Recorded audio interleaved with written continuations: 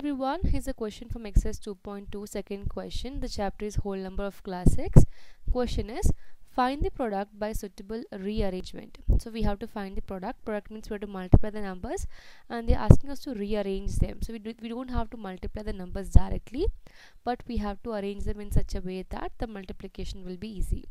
Now let's start with the first question in first we have 2 into 1768 into 50 right?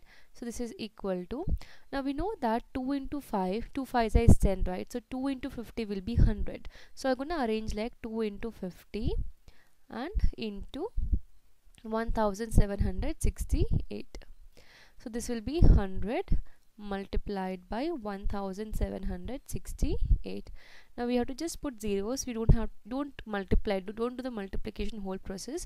Whenever you're multiplying any number with zeros like 100 or 1000 or 1 lakh something then we have to just put these two zeros at the end. So whatever number you're multiplying we have to just put those two zeros or three zeros. How many zeros you have here? Now if you in case you're multiplying with 200 or 300 then you have to multiply with 2 and 3 now here we have 1 so 1 into any number is the same number. So it will be 1000 not 1000 so 1768 and there's a, in 100 we have a 2 zeros so followed by two zeros. If you have a thousand you will get three zeros at the end. That's it. So we got here uh, 1 lakh 76,800 that's the first one. Now let's go for second question. So in second one we have 4 into 4 into 166 multiplied by 25 now again 4 into 25 is 100 so let us rearrange that. So 4 into uh, 25 this will be in bracket multiplied by 166 so this is 100 multiplied by 166 so like I said when you multiplying this with 100 or 1000 with any number so 166 into 1 will be 166 and we have here two zeros so put these two zeros there. That's it. This is the answer. And then the next one this problem C let me erase this part.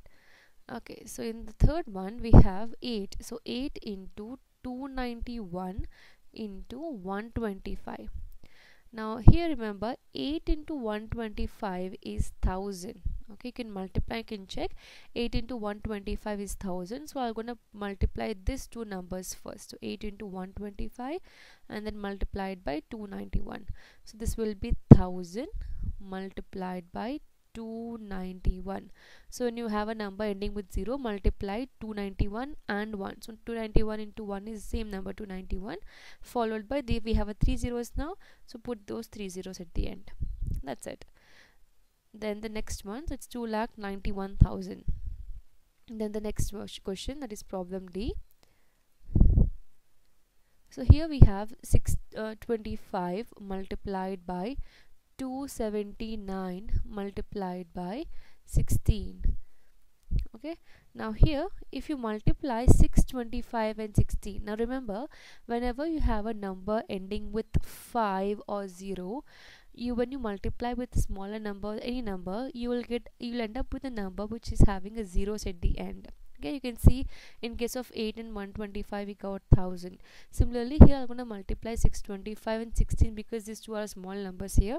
I'll get here 10000 so let me arrange 625 multiplied by 16 in a bracket then multiplied by 279 so always multiply the numbers which ends with 0 or 5 so this will be 10000 okay then multiplied by 279 so when you're multiplying it 279 1 is 279 followed by 4 zeros so 0 0 0 0 that's it. Then the next one.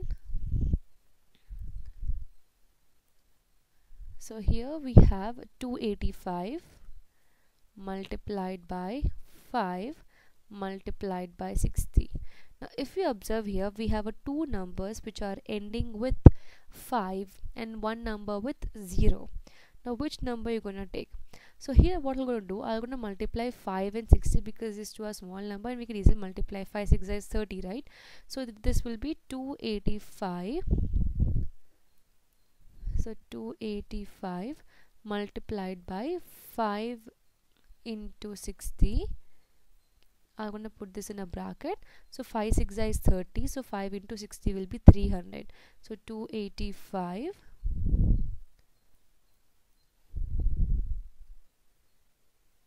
multiplied by 300 now this is equal to now you have to multiply 285 into 3 so far you had a number like 1000 10000 so you have to multiply with 1 now here we have a 300 so 285 multiplied by 3 you should do which will be 855 so 855 will get and then we have a two zeros here for 300 so put those two zeros.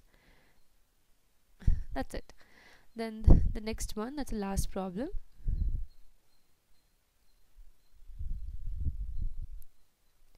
so 125 multiplied by 40 multiplied by 8 multiplied by 25 now we have four numbers here to multiply. Now here we can multiply uh, two two numbers here. So first I'm going to multiply 125 and 8 now if you multiply 125 and 40 you will get the answer in 5 because we have a 5 and 0 at the end. So you're going to end up with a number having a 5 at the end. So i'm going to take 125 and 8 because we had a case in the third question 8 and 125 we got 1000 so i'm going to multiply 125 and 8 i'm going to multiply 40 and 25 because 25 into 4 is 100 so 25 into 40 will be 1000 okay.